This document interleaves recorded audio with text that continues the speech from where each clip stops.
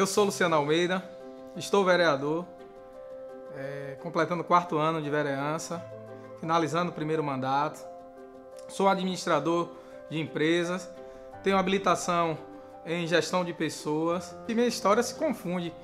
É, história política com história de vida. Eu sempre, desde novinho, eu sempre tive essa inclinação para a política, né? E eu vejo na política essa, esse agente de transformação na vida das pessoas. Eu sempre quis estar na política, eu sempre quis fazer parte dela de forma é, ocupando um mandato para que eu pudesse usar meu mandato para melhorar e dar qualidade de vida às pessoas. A política é a arte de servir e eu procuro não ser contaminado pela politicagem, de botar meus interesses é, na frente do interesse do, do, do coletivo, né?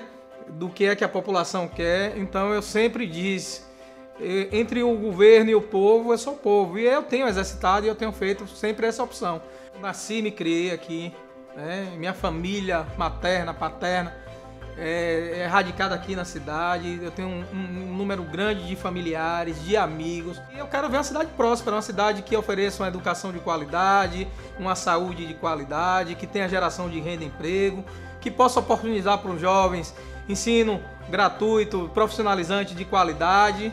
Então, a Lagoinhas é uma cidade de possibilidades, que oferta diversas possibilidades de crescimento, de que aqui você possa criar sua família, você possa se estabelecer. Eu acredito que eu represento é, a população porque eu estou atento às necessidades da população.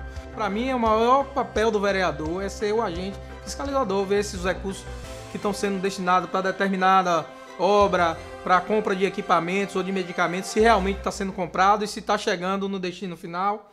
Né? Então eu represento e eu me sinto representante de fato da população porque eu estou atento a essas demandas. Né? Eu gostaria de renovar o nosso mandato para dar continuidade a todo o trabalho que vem sendo feito ao longo desses quatro anos é, na área de inclusão, na área de, de mobilidade, na área de educação é, na proteção dos animais e continuar sendo a vez e a voz do povo na Câmara de Vereadores.